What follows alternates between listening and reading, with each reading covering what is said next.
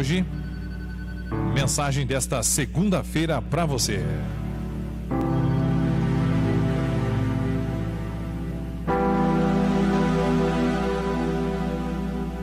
Você conhece, com certeza, você conhece aquela série infantil Chaves, né?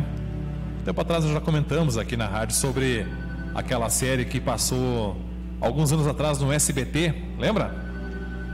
Pois é, até a geração mais atual tem acompanhado o seriado produzido lá no México. Foi produzido lá na década de 70. E inclusive tem gostado muito, né? Quem não gostou de assistir o Chaves?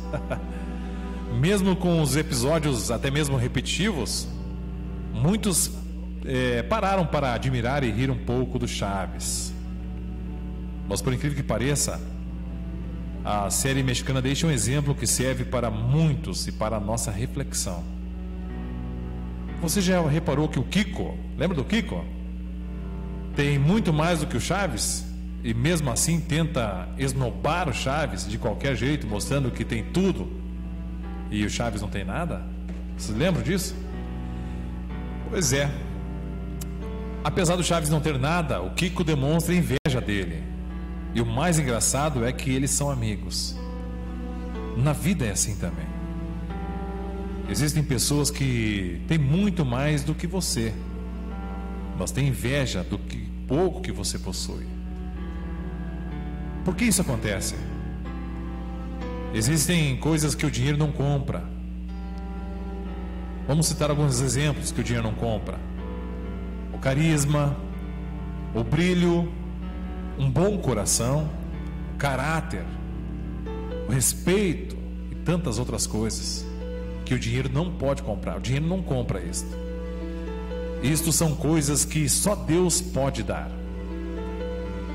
Por esse motivo, não se importe com a inveja alheia Siga em frente, faça o seu trabalho, seja quem você é.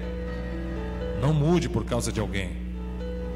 Caso você sinta necessidade de mudar, mude por causa de você, não por causa dos outros. A inveja, ela é a amargura de que sofre por causa da felicidade alheia. Isso é inveja. A inveja é a amargura que se sofre por causa da felicidade alheia é uma confissão de inferioridade, de incapacidade. Tudo isso é inveja. Invejar é uma forma clara de homenagear a superioridade que você sabe que tem em ser esse coração bom. Essa pessoa querida e atenciosa com todo mundo. Continue assim. Continue dando atenção para as pessoas, Continue com seu carisma, continue com seu brilho, com seu bom coração, continue com seu caráter. Pense nisso.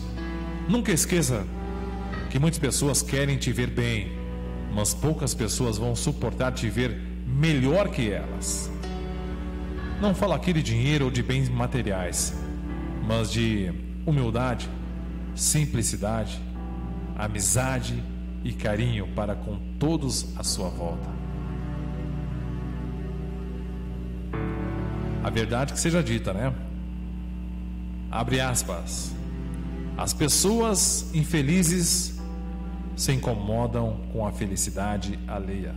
Fecha aspas. Então seja feliz, seja você mesmo. Compartilhe o que você tem de melhor com as outras pessoas, hein? Essa é a nossa mensagem para você.